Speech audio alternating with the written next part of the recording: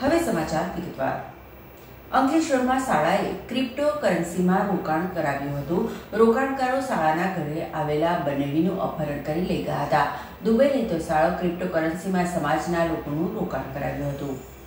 બનાવની વિગતો અનુસાર Ankleshwar railway station Godi road પર આવેલ મોબિન સોસાયટી ખાતે મીતા એપાર્ટમેન્ટમાં રહેતા ઇમરાનભાઈ મુલતાની પરિવાર સાથે રહે છે.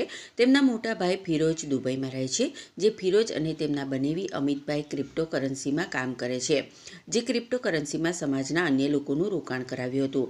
બનેવી અમિત ગત રોજ અંકલેશ્વર રહેતા સારા ઇમરાન ખાનના ઘરે આવ્યા હતા અને રાત્રે રોકાણ કર્યું હતું, જે અન્ય લોકોએ રોકાણ કરે રૂપિયા પરત કાઢવા માટે ગત રાત્રિના બાર ત્રીસ કલાકે તેમના ઘરે સમાજના મુન્નાભાઈ સિપાઈ મોહસિન મુલતાની, આશિફ મુલતાની, કાદર મુલતાની તમામ રહે સુરેન્દ્રનગર, રાજકોટ, ઇમ્તિયાઝ મુલતાની અને ઇકરામ પઠાણ રહે અમદાવાદ અને ઘરે બલેનો ગાડી લઈને આવ્યા હતા.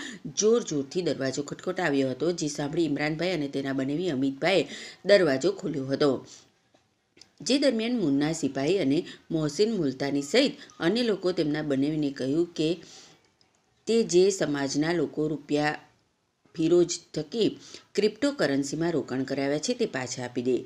એ સાંભળી અમિતભાઈ, મેં કોઈ સમાજના રૂપિયા ક્રિપ્ટો કરન્સીમાં રોકાણ કરાવ્યા નથી, બધું રોકાણ ફિરોજ જ કર્યું છે. તમે ફિરોજ પાસે માંગો. એમ કરતાં મોહસિન અને મુન્ના અમિતભાઈને ગાડીમાં બેસાડી લઈ ફરાર થઈ ગયા હતા. દરમિયાન ઇમરાનભાઈ અને તેના પરિવારજનોએ અન્ય ઈસમો ગાડીમાં બેસવા જતાં આશિફ મુલતાની, કાદર મુલતાની, ઇમ્તિયાઝ મુલતાની અને ઇકરામ પઠાણ રોકી રાખ્યા હતા અને અંકલેશ્વર શહેર પોલીસ મથકે જાણ કરી પોલીસના હવાલે કરી દીધા હતા.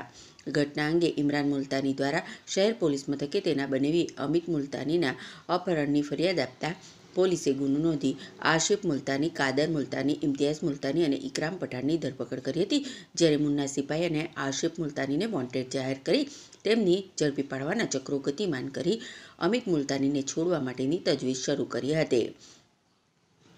ઇમરાન મુલતાનીના કાકાના દીકરા સલીમને પણ મુન્નાભાઈ સિપાઈ, મોહસિન મુલતાની, આશિફ મુલતાની, કાદર મુલતાની, ઇમ્તિયાઝ મુલતાની અને ઇકરામ પઠાણ અંકલેશ્વર ખાતે લઈ આવ્યા હતા અને વાલિયા ચોકડી ખાતે બોલાવી ફિરોજ અને અમિત મુલતાની અંગે પૂછપરછ કરી ગાડીમાં અપહરણ કરી લઈ ગયા હતા અને બે દિવસ સુરેન્દ્રનગર ખાતે તેમની પાસે બંધક બનાવી રાખી મૂક્યા બાદ છોડી દીધા હતા.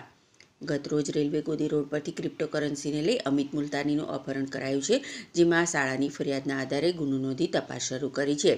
ચાર ઇસમોની ધરપકડ કરી છે. અપહરણ થયેલ ઈસમને મુક્ત કરવા માટે અલગ અલગ ટીમો બનાવી તપાસ શરૂ કરી છે. હાલ અન્ય બે ઇસમો અમિત મુલતાનીને ક્યાં લઈ ગયા છે તે અંગે ટેકનિકલ સર્વેલન્સ અને હ્યુમન ઇન્ટેલિજન્સ વડે તપાસ શરૂ કરી છે.